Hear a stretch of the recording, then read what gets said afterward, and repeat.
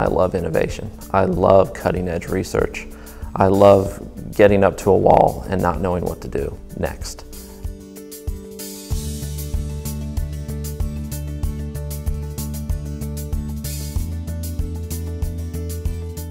I've had a very circuitous career, to say the least. My very first job was in environmental testing. We'd climb up uh, 100, 200 foot stacks, cut a hole in the side, and test for uh, pollutants. And then I wound up in the polymer industry, where I took biochemical profiling and knocked off the bio and made it chemical profiling. They'd never seen that before, but it was very easy, one industry teaching the other. I'm particularly proud of working on a project when I was at Duke University um, working in the HIV vaccine field, and we were looking at breast milk and trying to find proteins that neutralize HIV, and we were able to find one that was called tenascin C.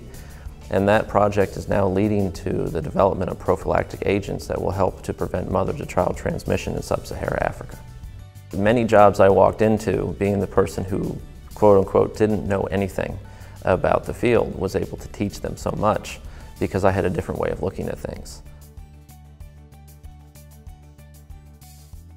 We live in the era of cross-functional teams.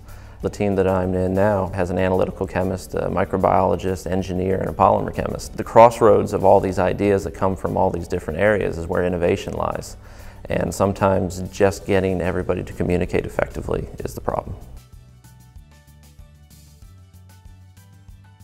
Always be thinking about transferable skills because the likelihood of you staying in uh, one job with one industry and one career is very unlikely. We'll always be looking at that instrument, that technique, that knowledge that you can then transfer over into another industry, something that other people will be looking for.